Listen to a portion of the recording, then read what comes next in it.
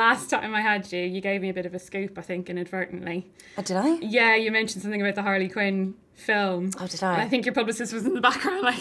Shaking No. her head violently. Welcome back, Robbie, Thanks. to Tipsy Talk. You were my first returning guest. Mm-hmm. Congratulations on the huge honour of.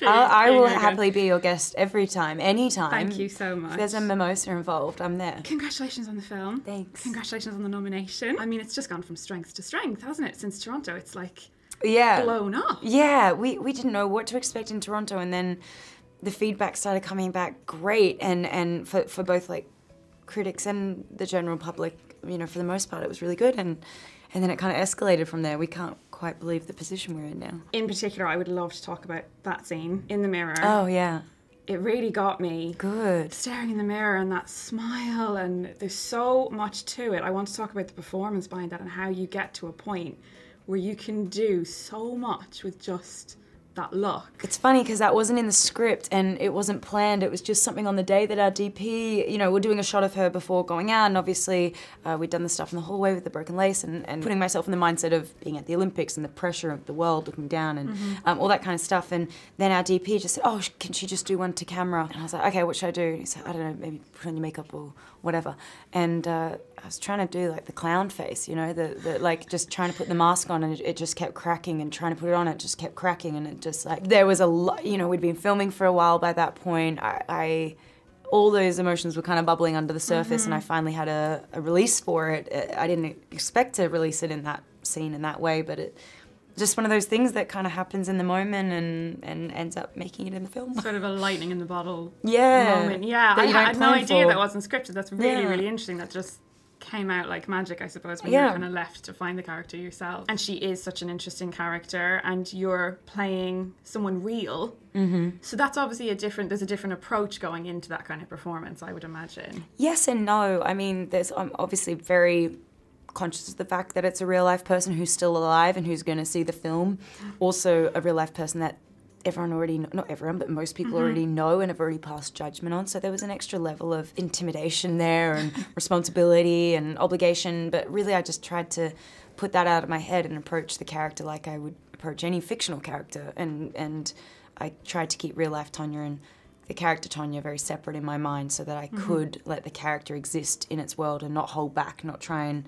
Um, I think that one of the main things we focus on is how people try and control their. It's a very human thing to try and control your narrative. That's why we have so many Yeah. unreliable narrators telling the same story in totally different ways. It's because everyone's trying to control their narrative and, you know, try and justify the way they behave at the time. So for my character to not be controlling the narrative that we're commenting on, I, I needed to be, I needed to separate it and let the character show the ugly sides and the tragic sides as well as the funny and amazing and emotional sides. the dialogue, the soundtrack, there's so much about it that like, you know, you're laughing out loud and, and it's a riot and it's fast paced, but also it's dealing with child abuse and mm-hmm. domestic violence and there's some really heavy themes. So how mm-hmm. is it to like balance those aspects? It was tricky to balance them both, and, and really it came down to trusting our director and finding the right director in the first place. Craig was the perfect person to do this. He was the only person I really felt that could accomplish this specific tone that I'd seen him do.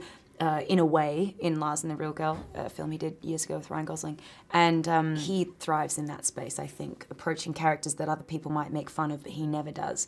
And he always searches for the truth in the scenario. So uh, it wasn't so much for me to decide how much to give. It was about giving him all the options and letting him tell me when to dial it up, dial it back. He never made us play for the punchline. He's always like, no, I don't care if it's written funny right now. What what would you actually do? How are you actually feeling?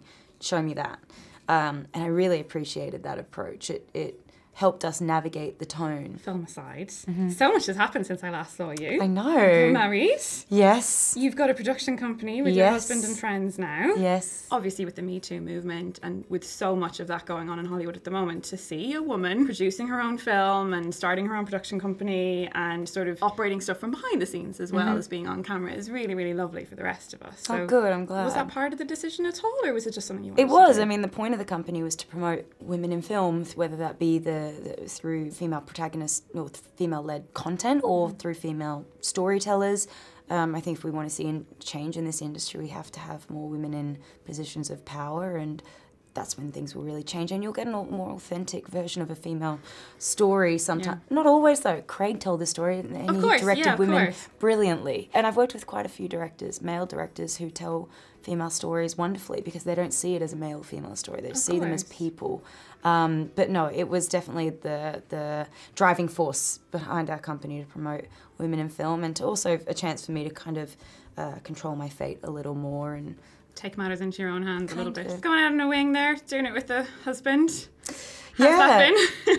it's great Yeah? it's really great yeah So lovely. No, it's I know it's amazing. It's it's we're all we're all friends at the company. We're all best friends, and we've been friends for years, and we all work really well together. And nothing feels like work when you're doing it with your friends. Oh, that's so lovely. Yeah. And so true. Yeah, I get to work with my friends quite a lot. And it is a lovely thing when you're on set for the day. It never quite feels as exhausting. No. Last time I had you, you gave me a bit of a scoop, I think, inadvertently. Oh, did I? Yeah, you mentioned something about the Harley Quinn film. Oh, did And I? I think your publicist was in the background, like, Shaking No. her head violently. it Yeah, ended it's up really hard to the place. navigate the comic book world. You can't. Everything's so under Oh, wraps all the time. God, I know, trust So me. much speculation floating about constantly. Quite a lot. Has there been any developments on that yet? You're like, you're "But give me my scoop." About now? I, Um, I mean, I feel like it's not a scoop anymore because I, I've seen stuff about this now, but I could be wrong. I've been developing a Harley uh, spin-off of sorts with, uh, you know, uh, quite a few female characters involved because my point was in real life I am constantly with other females my age and on screen I never am. it doesn't make sense to me. So um, if that's the next thing that goes ahead, I'm not sure. I think they're developing a lot of things because everyone wants to see Harley back on screen, myself included. I, I can't wait to play her again. I mean, she she was my favorite thing about that film, and I said this to you last time as well. I'd love to see her again. Yeah. It's exciting that you'll have a few other female characters in there. Well, hopefully. I mean, there's still Yeah. a still a And is bit of a ways to go. is that entirely separate then from sort of everything else that's going on in the DC universe? Is it like a whole other? Uh, yes and no. I mean, it's e- everything in the DC universe is still DC universe, DC characters, and all that kind of stuff. But um, yeah, something different. I will leave it there. Not Cryptic. try and scoop any more scoops out of you this time around. But congratulations on everything, genuinely, with the nomination and with the marriage and with the production company. It seems like you've got so Thank you. much going on and going for you at the moment. I'm really, really happy for you. And um, best of luck with it. Thank you. Thank you, Margot Robbie. That has been Tipsy Talk.